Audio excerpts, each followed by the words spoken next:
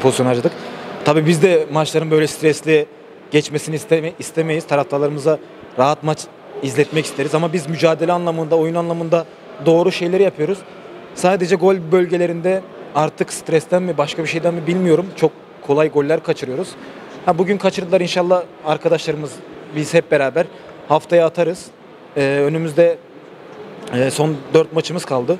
4 maçın da hepsini kazanmak istiyoruz. İstanbulspor maçından sonra da söyledim. Biz önümüzdeki bütün maçları kazanabilecek kalitede bir takımız. Gençler Birliği maçı da gerçekten bence iyi oynadığımızı, iyi mücadele ettiğimizi düşünüyorum. Sadece tek eksik goldü.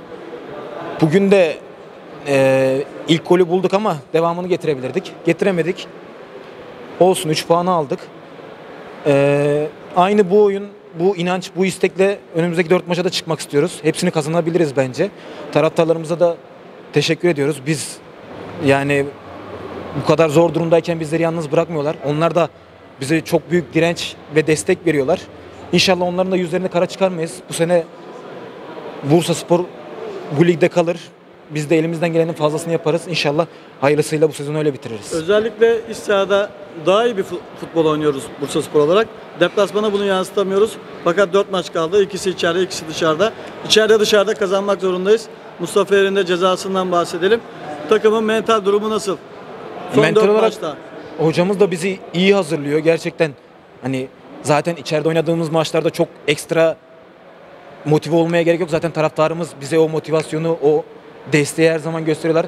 Tabii ki deplasman içeride farklılık yaratabiliyor. Çünkü bu kadar taraftarın önünde oynamak bize çok büyük güç veriyor. Ama biz aynı şekilde deplasmanda da artık bir bahanemiz yok. Aynı oyunu sahaya yansıtmamız gerekiyor.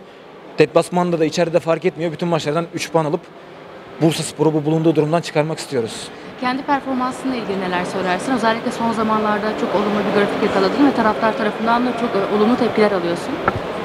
Yani e, kendi performansımdan memnunum ama önemli olan takım olarak iyi futbol oynayabilmek. Ben de takımım için elimden gelen her şeyi e, terimin son damlasına kadar yapmaya çalışıyorum.